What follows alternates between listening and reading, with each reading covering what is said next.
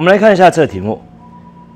他现在说，带负电的点电荷固定在 P，在周围建立电场。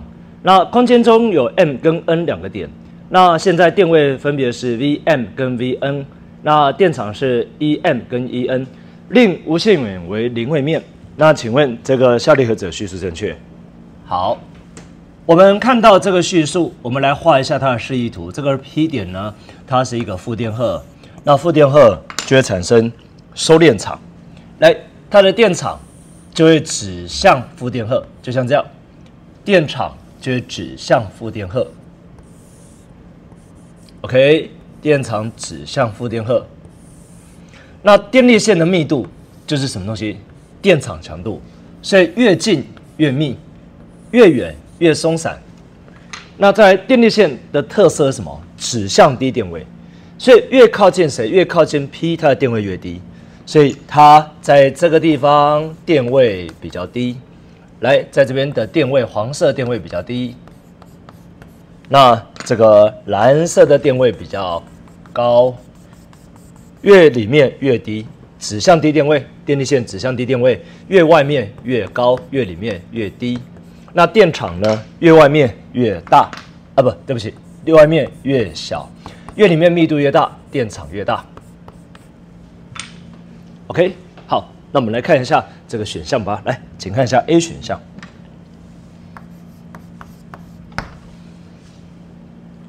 如果 M 的电位大于 N。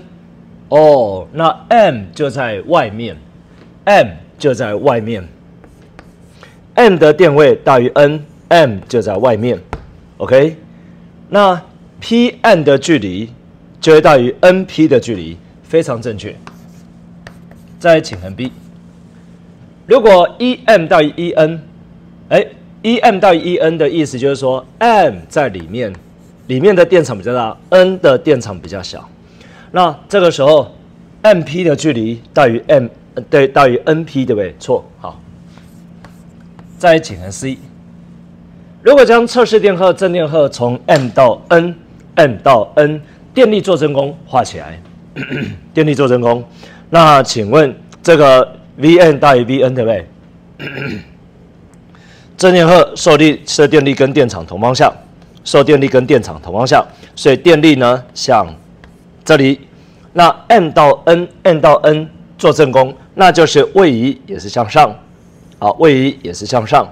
那力跟位移是同方向，对不对？哎，电力做正功，所以 M 在外面，N 在里面。那 n 在外面，N 在里面，所以它这边是高电位，这边是低电位，所以高到低这个是正确的哈。在 D 将负电荷从 N 到 N，呃，电力做负功，那请问电场 E N 大于 E N，对不对？好，如果是负电荷做正功，负电荷做负功，对不起，负电荷做负功。那我们来看，好，负电荷要摆哪边？负电荷如果是在这里好了，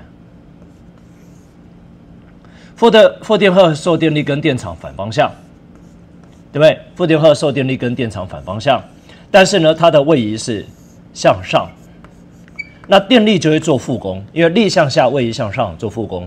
对不对？所以他要的是这个嘛，就是电力向外，然后位移向内，这个东西做负功。那这个 N 的电场大于 N，对不对？错，N 的电场比较大，越近电场越大。好，所以这个是错的。好，再来，请看到一选项。一选项他说，如果将测试电荷，它在电场中只受电力运动，那只受电力运动，那 N 的动能在 n 的 n m 的动能大于 n 的动能，n 的动能大于 n 的动能，那请问哈，这个 v n 大于 v n 对不对？我们如果把一个正电荷摆上去，那它跑向 n，哎，结果呢动能变大，那是因为我们这个东西它受到电力作用，那电力对它做正功，所以这边动能变大，非常合理。你看到这样子跑过去，对不对？电力让它加速，所以这边动能大，这边动能小，n 的动能大于 n。那 N 的动能大于 N，那 Vn 大于 Vn 不对，Vn 的电位会比较小，Vn 的电位会比较小，所以这个是错的。好，所以本题答案只有 A、C 正确。好，A、C 正确。